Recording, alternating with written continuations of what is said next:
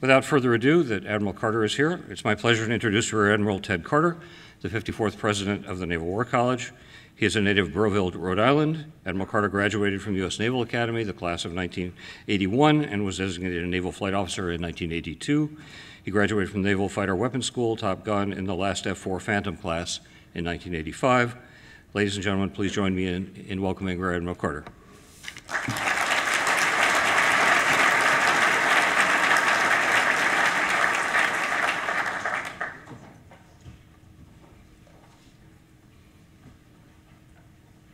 Right, well, good afternoon, everyone. It's good to see you're all still dressed up from uh, this morning, and uh, everybody looks like they've uh, gotten through lunch so well. Uh, this is a this is a great day. It's a great day because you started your academic journey, uh, but uh, maybe more importantly, it's the order in which things are happening. So as you as you look at what we're you're about to be exposed to here over the next couple hours, it brings up an interesting question: Why why ethics? And, and why right out of the gate? It's something uh, maybe uh, some of you haven't really thought a lot about. And uh, how does it fit into your thinking? How does it fit into your decision making? Uh, how is it interwoven into uh, how we plan and how we execute? Um, so I think this is, uh, this is a great start to your entire year that you'll spend here. This lays the groundwork for why uh, this discussion has to happen up front. And as you go through the year, I ask that you consider this series of uh, discussions that you have here uh, and, and what it means. And the material that you have here, the notes that you take, circle back to it uh, and think again about how this should fit into the process of your critical thinking uh, as you change, and you will change here over the next year.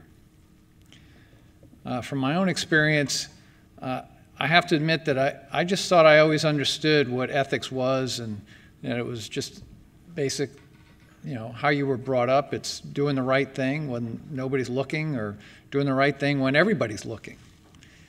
Uh, and what you'll come to find as you mature and you get further away, whether you're a ship driver, an airplane driver, a submarine operator, uh, EOD explosive ordnance disposal expert, or, or Navy SEAL, or any of the variations of uniforms that we have in our United States and abroad. Uh, a is that, as Admiral Harwood talked about this morning, you're never really as smart as you think. Uh, I found myself to be a very cocky lieutenant when I was young. I thought I knew everything. I'd been to Top Gun, I had been exposed to the best tacticians in the world, and I thought I knew how to apply my craft better than anyone. Uh, and as I got older and more mature, I realized I didn't know everything, and that the ethical part of my thinking became a bigger part of how I operated when I was doing my business. And that mattered whether or not I was in the shipbuilding world, whether I was in the training world, and most importantly, when I was in the combat world. And ethical thinking is something that's different. I mean, you'll hear us talk a lot about thinking at the operational and strategic level. Uh, impacts from ethical decisions happen at the tactical level and can have strategic consequences. And it can happen very fast. So it's important for you as future leaders, as current leaders, to understand how do you transmit what you know to be right? How do you take an idea that you know that you have and impart that on everyone that's in and around you? How do you put that kind of influence in your planning teams, in your commands, in the people that you work with, and for the people you work for? Because sometimes you're told to do something and you have to make a decision. Am I executing as a direct order? Or do I challenge that because I know ethically it might not be correct, or it might have some impact beyond what maybe was uh, asked for me to do. And by the way, there's no checklist, there's no kneeboard card, there's nothing that you get to go reference to back yourself up in many of these occasions. And oftentimes it does come down to understanding war, the consequences of war. What's the right thing to do? Now, I, uh, I told a story to the faculty when I first came here about uh, one of my first uh, real tough decisions that I had to make uh, in an air combat mission, uh, and it was over Kosovo. And I'll just share it to you, and I'll give you the shortened version of it because the point is very evident in, in how it went down. And I never really even thought of it as an ethical decision because it was really happening so fast. Uh, as many of you know, we had been uh, involved in the Kosovo operations for a number of weeks before the U.S. Navy showed up. And uh, I happened to be on board the Theodore Roosevelt. It was the only aircraft carrier we sent to the Ionian. Uh, we had Air Wing 8 on board. I was the commanding officer, of one of the F 14 squadrons. Uh, I had led the first strike into Kosovo on 6 April 1999, and we subsequently flew for five straight nights without any daytime combat missions. The weather had not been that good that time of year in the Balkans. Uh, the Navy did not have fly through the, uh, the weather weapons, so we had laser guided weapons that needed to see the ground.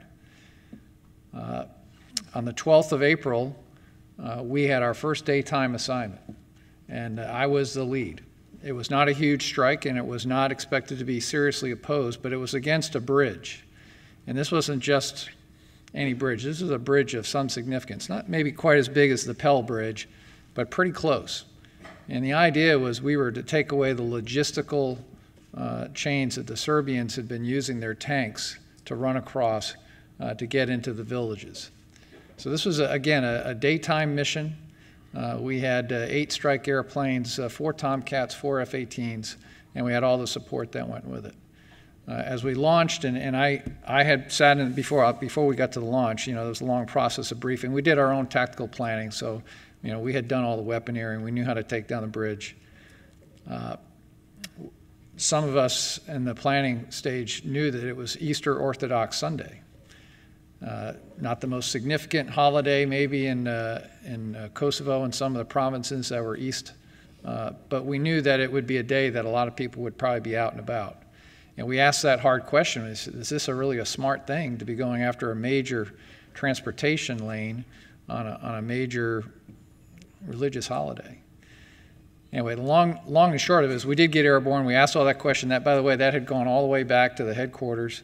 And we were airborne and uh, we were dealing with weather. Probably not too unlike a day like today. It was a little hazy. There were some clouds out there. Uh, 30 mile run in. We're doing about 600 knots. Uh, so we're moving pretty fast. We're going to have a weapons release at somewhere around the five mile and these gravity dropped weapons to go into this, this target area.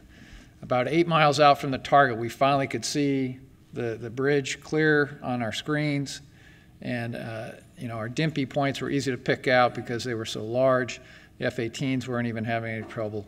Uh, the Tomcat had uh, a little bit better uh, system in the back. Uh, we could talk about that with my Hornet brother sometime later.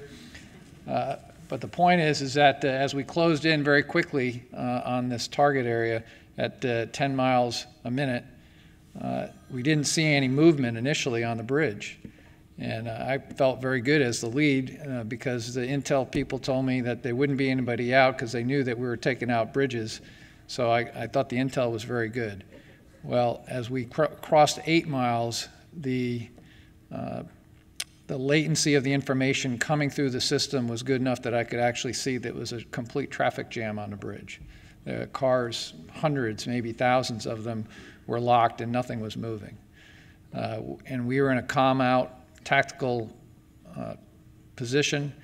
Uh, I broke radio silence, transmitted the one code word to abort, and nobody dropped a weapon, which was very fortunate. Uh, we took a lot of heat when we got back. Uh, and uh, I wasn't sure whether I had just truly disobeyed an order or whether I was following what I thought was ethically right by not killing literally thousands of civilians who were not the target. Uh, thankfully, we had a very good videotape to state our case. Uh, the next day uh, was the famous mission where the F 15E, with a, uh, laser guided Maverick, took out a train uh, crossing a train trestle uh, and unfortunately made a direct hit, and it made a lot of news. Uh, and we saw the strategic impact of what that mission meant. And I had a lot of time to think about this over the years as to what would have changed in my life, to me personally, and to the overall mission had we just went ahead and took the order and said, take out the bridge and let the consequences be what they were. And we probably would have had a good argument to say we didn't have time to abort because we might not have been able to really tell how many people were on the bridge. So the ethical question that, if you had time to debate it, would be, it would, would have been the cost of that human loss of life to allow that to happen versus not take out that bridge, maybe have to go back, maybe lose an airplane who might come under fire. All of those obvious questions that you should ask yourselves.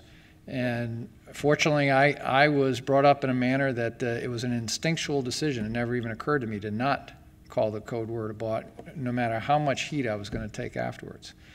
So I've taken that as a lesson to myself, one that I've had personal experience in, and I just offer it as something that's easily understood at the tactical level, to which now you can apply and see what the strategic consequences may or may not have been.